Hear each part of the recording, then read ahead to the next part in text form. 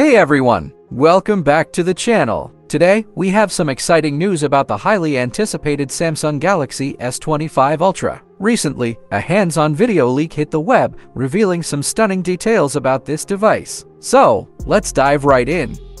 But first, for all the latest tech news subscribe to our channel and don't forget to smash that like button. The first hands-on video of the Galaxy S25 Ultra showcases its sleek design and revamped camera setup. The corners of the device are rounded, giving it a modern aesthetic that sets it apart from its predecessor, the Galaxy S24 Ultra. Visual appeal, the rounded corners not only enhance its look but also align with the new One UI 7 interface, which features several rounded elements for a cohesive design.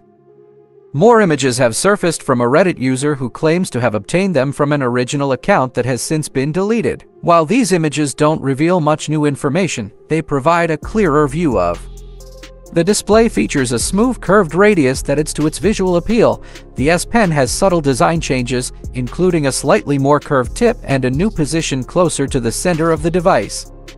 The leaked screenshots from One UI 7 showcase several exciting updates. Redesigned icons, a fresh look for the app icons, camera app refresh, improvements to the camera interface, quick settings tweaks, enhanced usability for quick access settings. These changes suggest Samsung is focused on providing a more polished and intuitive user experience.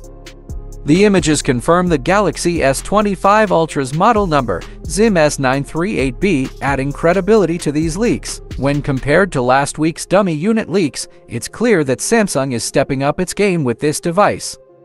What do you think about the Galaxy S25 Ultra's rounded design? Are you excited about these new features? Let us know in the comments below. If you enjoyed this video and want to stay updated on all things tech, don't forget to subscribe to our channel. We appreciate your support. That's it for today. Thanks for watching and see you in the next video. Peace out.